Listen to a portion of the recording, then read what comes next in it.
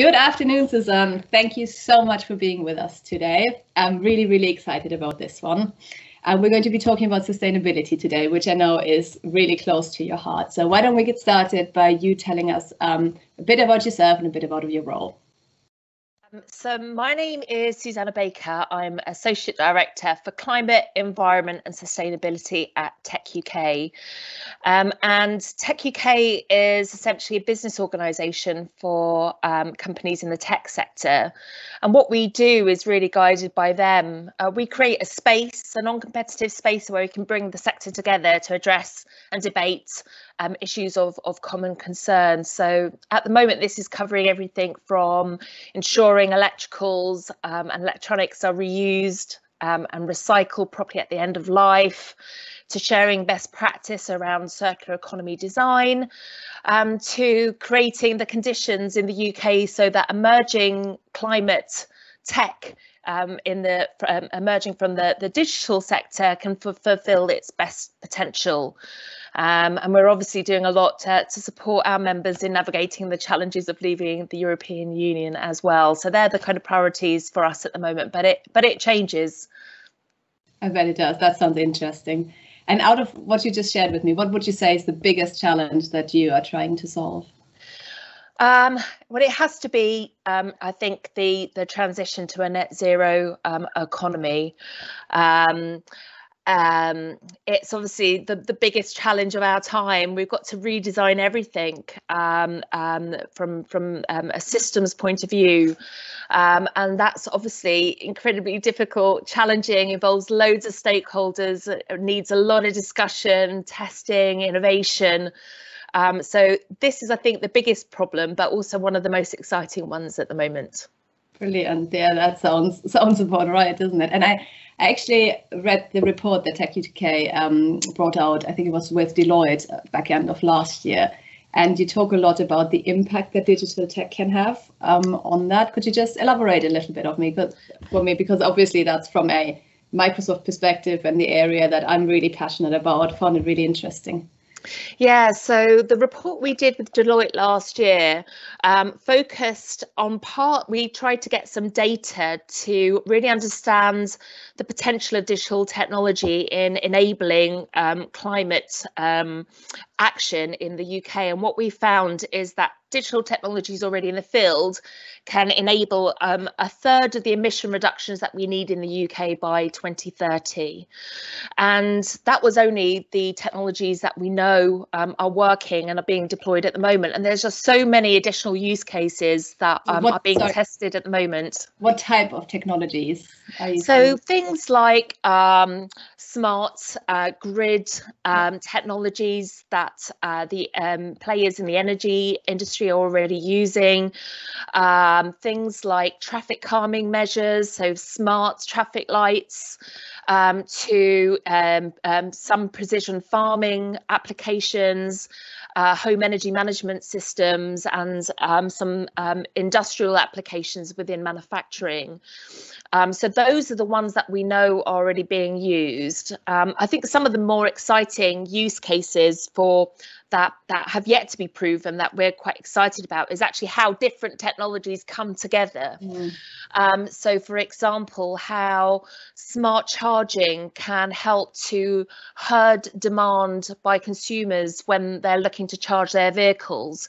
If we all decide to charge our vehicles at the same time, if we move when we move to electric vehicles um, en masse, then there's a real risk that the grid will fall over. But if we can send price signals through our smart grids, through smart energy systems, um, then we can uh, essentially direct people to uh, charge their vehicles in an orderly way when uh, there is uh, loads of uh, low cost, low carbon um, energy on the system. Uh, and it's things like that that we get very excited about. that truly is very exciting. So would you say energy is the one where you your, your passion lies?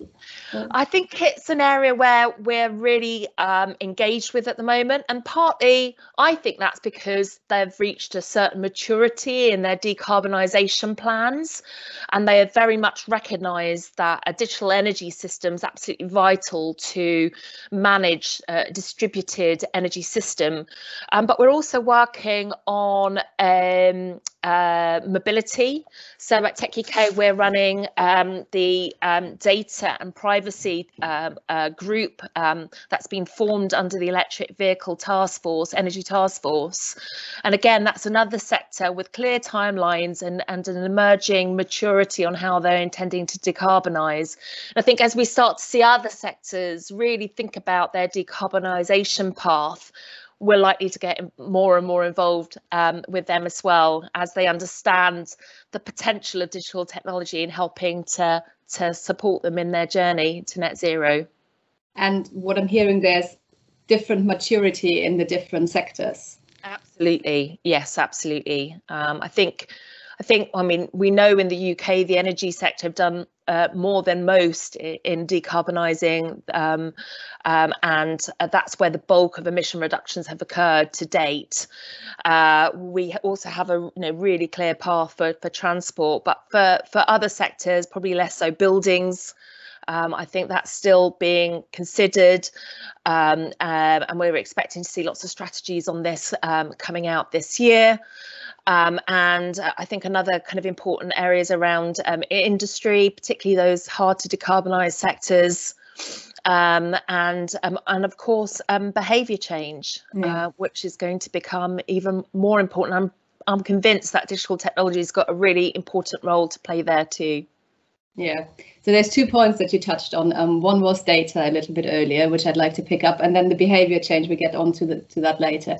So data is obviously super important in all of this because we, we can't manage what we can't measure. We, we know all of that, but it's a real challenge, isn't it? The, the management and or the measurement even of accurate data. Yeah, it's a huge challenge. And it's for that reason um, that we have suggested that as part of the national data strategy that DCMS are working on at the moment, uh, that's our um, government department for uh, digital in the UK. Uh, we really want to see net zero being uh, a central challenge within that data strategy. Um, we think data is absolutely vital in the transition to net zero. Uh, what we're seeing is lots of uh, really great data strategies emerging in the energy space. I, I, mentioned the one that's being explored in the mobility space. We know the water sector is also looking at it. What we don't want is these data uh, strategies to be developed in silos because if we're going to be, um, you know, the complexities of moving to net zero requires a systems approach to managing this transition. And that will inevitably mean that we need the very best data to inform um, decision making uh, to provide robust verification uh, around the actions that other people take um, and to actually optimize and organize ourselves best. Um, we're also really excited about, about the role of digital twins to help us take that data and perform very high quality simulations to support um, um decision making. Um, but we need to layer those uh, information sources together to get a really accurate systems uh, um, uh, view, really. Um, so absolutely important that we design our data sets uh, for interoperability and that they're um, housed and governed in a way that is acceptable to society. Uh, we know that um, people are worried about the use yeah. of data, so that's absolutely vital that we get a really strong governance structure around that data from the very beginning. Yeah, yeah, that's always one of the big um, issue sounds negative, but it's just it's of great importance, isn't it, that that we're open about how we deal with data and what we do with it and how it's being shared. However, the the real benefit will lie in sharing the data and mashing it up and actually modeling it. So that's great. And as you could hear, this is live from my um, office. So my daughter just commented on the video game she's playing. um, so I wanted to touch on the last point, and that is really the behavior change aspect. Because for me personally, I always find the more I learn and the more I read, there's no way you go back to your old behaviors. So, so what are your thoughts on it, and what is sort of the one tip that you could get give listeners? Um, yeah, to start. Yeah, I mean, it, it's interesting because I suppose one of the reasons why I got uh, interested in policies um, and sustainability policy was because it enables change without people having to do very much at all. Um, but as we know, this is uh, this will only work to to a, to a point. Um, and the Committee on Climate Change has rightly pointed out that we really absolutely need to start changing the way we behave. And for me at home, um, that's about buying renewable energy, um, traveling less, buying more durable products, clothing, um, to electronics, re reusing, recycling, um, um, not just you know our packaging, um, but but, our, but everything we can. Um, and of course, um, eating less meat is becoming increasingly important too. but I think at work, the biggest way we can all make a difference, whether we're working in sustainability or not, is to encourage our places of work to adopt a science-based target. Um, so that's a, a, climate target based um, and framed around the Paris Agreement. Um, and um, we know that there's a big push from the COP26 presidency to get as many businesses signed up to a science-based target um, in, in the run up to the talks in Glasgow this year. And I think that every employee, uh, regardless of where they work, can can try and encourage their um, uh, employers to to move in this direction. Brilliant. Thank you so much, Susanna. That was absolutely brilliant. Um, all the best with everything and stay in touch. Thank you very much. Thanks for having me.